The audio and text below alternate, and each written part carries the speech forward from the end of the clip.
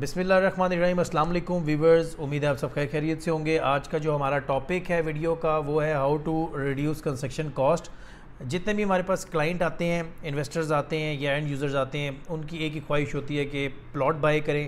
Plot buy करने के बाद वो जाते हैं कंस्ट्रक्शन की तरफ़ और फिर हमारे से टिप्स पूछते हैं कि भाई, हम अपनी कंस्ट्रक्शन कॉस्ट कैसे मिनिमाइज़ कर सकते हैं।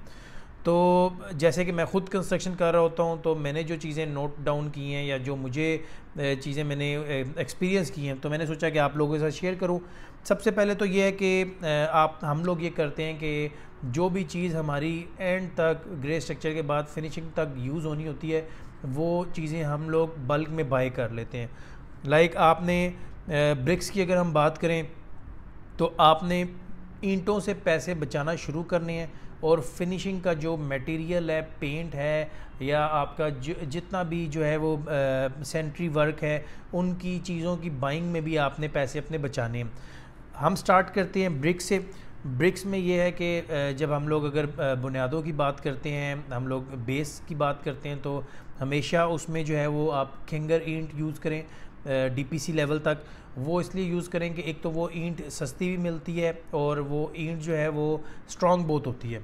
तो बेस के लिए बैरिया टाउन भी जो रिकमेंड करता है, वो यही करता है कि आप खिंगर ईंट यूज़ करें।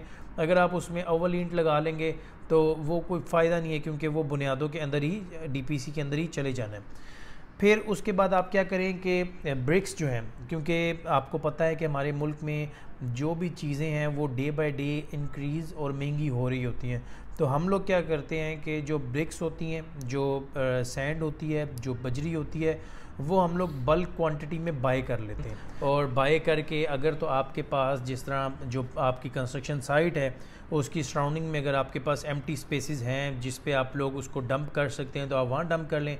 अदरवाइज़ आप ये करेंगे दो या तीन चक्कर में वो चीज़ें आप मंगवा लें। बट इससे होगा क्या? तो इससे होगा ये कि जब चीज़ों का मटेरियल का रेट ऊपर भी जाएगा तो आपका एक रेट लॉक हुआ होगा उस जो आपका डिवेल्यूशन होगी पैसे की उसकी वजह से आपको नुकसान नहीं होगा, आपका मटेरियल जो कि एंड तक यूज़ होना है, वो आपके पास पहले से ही अवेलेबल होगा। फिर उसके बाद अगेन हम बात करते हैं स्टील की। स्टील जब हम लोग बाई करते हैं अपनी साइट्स के लिए तो हम पूरे प्रोजेक्ट के लिए हमें पता होता है, हमने स्ट्रक्चर को कैलकुलेट किया होता है, हम स्टील भी बल्क में बाई कर लेते हैं। फिर वो या तो हम कंपनी के पास ही रहने देते हैं, क्योंकि ये भी इशू होता है कि साइड पे अगर आपका वॉचमैन ज़रूर रखना चाहिए आपको, कि अगर वॉचमैन नहीं है तो चोरी होने का डर होता है। तो स्टील भी अदरवाइज़ आप ये कि एक रेट लॉक करके उस पर बाई कर लें। फिर हम लोग इसके बाद जब हम लोग आते हैं ग्रे स्ट्रक्चर के बाद हम लोग अक्सर हमारे से लोग पूछते हैं कि सीलिंग करवानी चाहिए, उससे वो कॉस्ट इफ़ेक्टिव है या जो है हमें सीलिंग के अलावा विदाउट प्लस्तर जाना चाहिए। तो उसमें अगर आप सीलिंग करवा रहे हैं तो वो बिल्कुल एक्स्ट्रा आपका एक्सपेंस नहीं है। तो उसमें आप पैसे ऐसे बचा सकते हैं कि जो छत है, उसको आपने प्लस्तर नहीं करवाना। क्योंकि जब आप उसके ऊपर प्लस्तर करवाएँगे तो आपकी रेत भी यूज़ होगी आपका सीमेंट भी यूज़ होगा और उसके बाद जबकि वो सीलिंग के अंदर छुप जाना है। तो आपने क्या करना है कि जस्ट उसको लेंटर के बाद आपने शटरिंग खोलनी है और आपने इसके ऊपर सीलिंग स्टार्ट कर देनी है। तो यहाँ से आप पैसे बचा सकते हैं। फिर वुड में हम लोगों ने ये फील किया कि वुड का जो काम है, आप हमेशा जो है, उनकी जो विद मटेरियल उनको ना दें वुड वाले को। हम लोग क्या करते हैं कि हम लोग हमेशा उनसे जो उनकी सर्विस चार्जेस हैं, जो उनके मजदूरी बनती है, वो उनसे हम लोग तय कर लेते हैं कि दो लाख, तीन लाख जितने भी उनके बनते हैं, चार लाख, वो हम उनको देते हैं मटेरियल उनको हम प्रोवाइड करते हैं। मटेरियल बाय करने का बड़ा आसान तरीका है। कि आप जो है पाँच से सात जगहों पे घूमें फिरें और रेट का जो है कंपैरिजन करें और फिर आप उनको शीटें और ये सारी चीज़ें लकड़ी लेके दें और अपनी साइड पे काम करवाएँ। फिर उसके बाद बात आ जाती है अलमुनियम की। अलमुनियम वर्क में ये है कि अगर आप पाउडर को कोटिंग के साथ जाते हैं ब्लैक कलर में तो वो लाजमी सी बात है कि वो एक्सपेंसिव है। ब्लैक और वाइट अगर आप फिर नेचुरल कलर में जाते हैं अलमुनियम में तो अलमुनियम आपको सस्ता पड़ता है विदाउट कोटिंग में। और अगर फिर अलमुनियम का आप नहीं काम कराते तो आप लोहे का काम करवा सकते हैं, स्टील उसमें लोहे के काम में जाएँगे तो वो भी आपको सस्ता पड़ेगा। सेंट्री आइटम्स में आपने क्या करना है? वायर में क्या करना है? वायर में आपने कम कंप्रोमाइज़ नहीं करना, क्योंकि ये बड़ी एक जो है मेन चीज़ है। वायर आपने अच्छी से अच्छी लगानी है फास्ट या पाकिस्तान केबल यूज़ करनी है।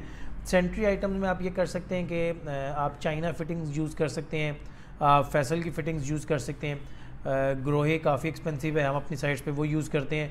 तो उसमें भी ये है कि आप हम मेरे से मेरी टीम से कांटेक्ट करें आपको हम अच्छे रेट पे चीज़ें वेंडर्स प्रोवाइड कर सकते हैं जो बल्क में जो आ, हमें चीज़ें प्रोवाइड कर रहे होते हैं उनकी वजह से आपको भी सस्ती चीज़ें प्रोवाइड हो जाएँगी।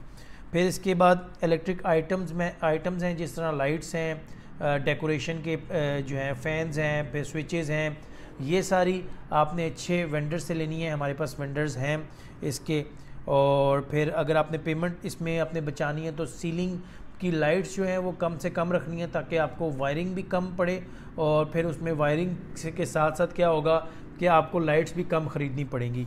तो इसी तरह ये छोटी छोटी चीज़ें तो मैंने सोचा कि आपसे ये टिप्स एंड टेक्निक्स आपके साथ शेयर करूँ कि जिससे आपको आइडिया हो कि आप कॉस्ट अपनी कहाँ बचा सकते हैं। कहाँ जो है वो मटेरियल ज़ाया हो रहा है, आप मतलब ऐसा ना करें कि आप सीमेंट जो है वो सारा अपनी साइड पे रख लें और उसमें कोई ख़राब हो जाए, क्योंकि जो मैक्सिमम वैलिडिटी होती है सीमेंट की, वो हम लोग उसको थर्टी फोर्टी डेज़ के अंदर अंदर मैक्सिमम हमने यूज़ करना होता है। तो वो चीज़ें मतलब ये जब आप मटेरियल वेस्ट करते हैं तो आपके घर की कॉस्ट काफ़ी ऊपर चली जाती है। और जब आप प्रॉपर अपना होमवर्क नहीं करते प्रॉपर वर्किंग नहीं करते तो आप एक चीज़ जो लाख रुपए की है वो दो लाख रुपए की ख़रीद लेते हैं। तो इस तरह आप चीज़ों को बाय करें और अपने कंस्ट्रक्शन की जो है कॉस्ट को रिड्यूस करें। अगर मज़ीद आपको टिप्स चाहिए तो मेरे से, मेरी टीम से कांटेक्ट करें और चैनल को सब्सक्राइब करें ताकि इस तरह की इन्फॉर्मेटिव वीडियो आपको टाइमली मिल सकें। Thank you and stay blessed